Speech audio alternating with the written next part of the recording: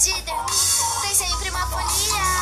Toma banho, escova o dente, historinha. É um sonho vivo da nossa amiguinha.